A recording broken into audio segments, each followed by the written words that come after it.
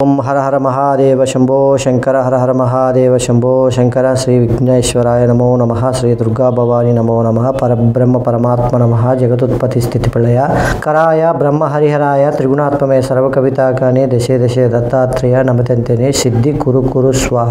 ఓం శ్రీ దత్తాత్రేయ స్వామి నమో నమ. హర హర మహాదేవ శంభో శంకర.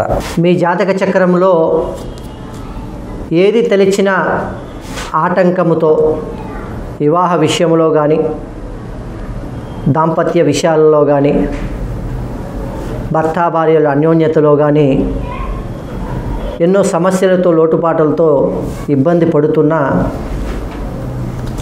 వివాహం కాగా కొంతమంది వివాహమైనా కూడా దాంపత్యంలో సరిగా లేక దాంపత్యంలో సమస్యలు వస్తూ విభేదాలతో సతమతమవుతున్న కాలసర్ప దోషము మన జాతక చక్రంలో కాలచర్ప దోషము ఆవహించి ఉంటాయి. అందువలన ఇట్టి సమస్యలు అనేది మనకి ఎదురవుతూ ఉంటాయి. ఈ యొక్క సమస్యలను ఒక చిన్న రెమెడీ ద్వారా చిన్న పరిష్కారం ద్వారా మీ యొక్క జాతక చక్రంలో ఉన్నటువంటి లోపాలను శాశ్వత పరిష్కారం మనం చేసుకోవచ్చు. అదేంటో మీకు చెప్తాను. ఒక శుక్రవారము కానీ లేదంటే గురువారము కానీ మినుములు శనగలు ఉలవలు. ఈ మూడు ఒక రాత్రి తీసుకొచ్చి వాటిని నానపెట్టాలి. నానపెట్టి మరుసటి రోజు ఒక గుడ్డ పైన పరిచి ఒక రోజంతా ఉంచితే మొలకలు ఎత్తుతాయి ఆ మొలకలు ఎత్తిన ఆ చిరుధాన్యాలను గోమాతకు ఆవుకు మీరు తీసుకువెళ్ళి ఆహారంగా ఇచ్చి మా యొక్క కాలసర్ప దోషాన్ని విముక్తి చేయమని ప్రార్థన చేసి ఆ గోమాతను పూజించాలి. ఇంటికి వచ్చిన తర్వాత ఆవు నూనెతో అవిసె నూనెతో నువ్వెల నూనెతో అంటే మూడు రకాలుగా మూడు కులాల నూనె అంటారు.